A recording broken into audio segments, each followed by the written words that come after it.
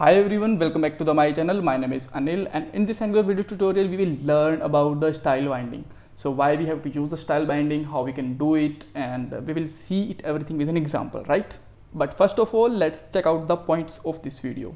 So we will see what is the difference between normal style and style binding, how we can add the dynamic binding, how we can change the style on a button click and how we can add the conditional style also, right? So now let's get started with the first point. What is the difference between normal style and the style binding? So style binding is basically belong to the Angular, even normal style belong to the basically CSS, right?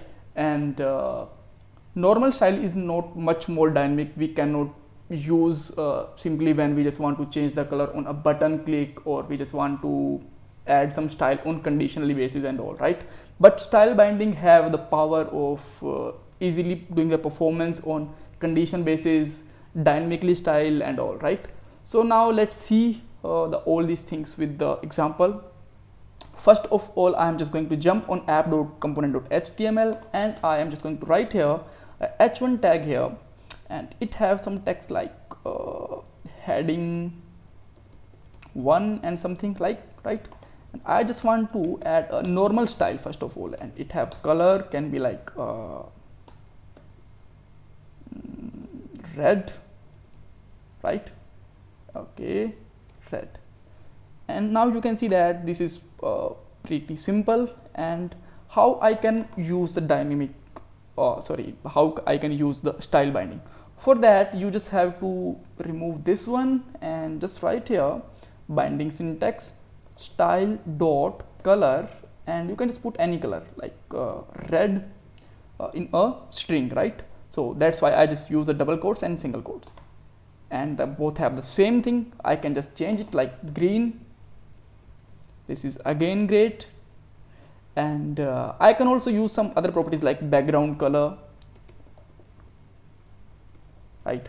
Now uh, h1 have the background green color. Great. So these are the normal things like how I can add the dynamic binding. Down dynamic binding means dynamic style binding means uh, I will just get some color property from the TS file and I will just show it here right?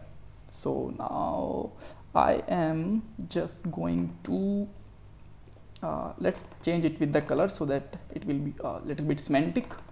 And here again color. But the this color should be come from the app.component.ts file. That's why I just define a property with a color and just put a color like yellow or something like uh, golden is much better. And here just put here color property right? And this color property is belong to the that one great? And now you can see that um, mm, mm, mm, mm this is not changed. Let me check why. Uh, maybe just uh, it's not supporting golden color or something. So just put here yellow for a moment.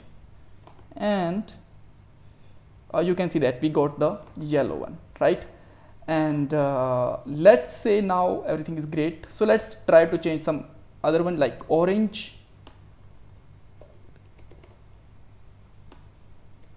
Right orange color. Then uh, this is also working great. So now let's say I have a button and on the button click I just want to change it orange to blue right? So just define a button here. Just right here uh, update color or something right? And let's make a click event like this. Okay.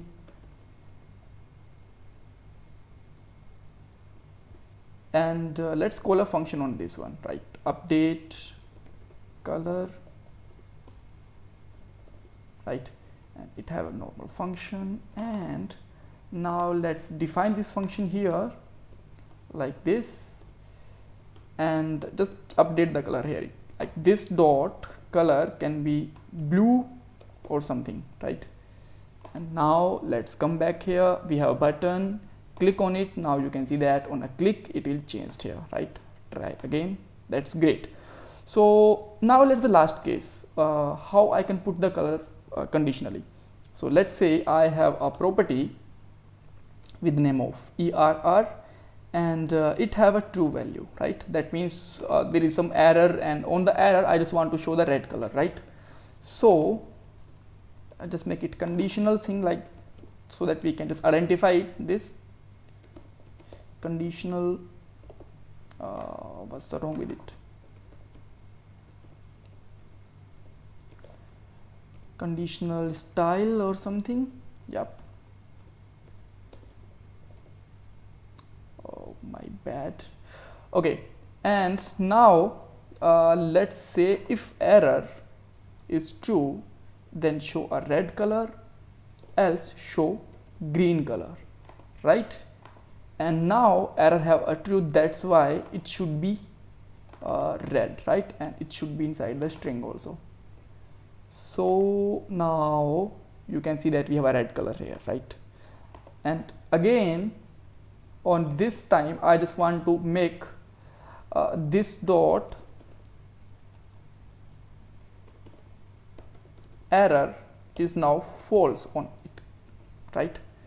And uh, again whenever I'm just going to click on it now the color should be green because uh, this property uh, now error property has false statement right and we can also do one thing uh, we can just make it toggle also right so just write here this dot error that means if uh, the error have the true then it will be false and if this is the false then it can be true on every click right now you can see that we have a toggling the colors right so thanks for watching this video. If you still have any kind of confusion, you can ask me in the comment box. Don't forget to subscribe my channel and like this video. Bye bye. Take care.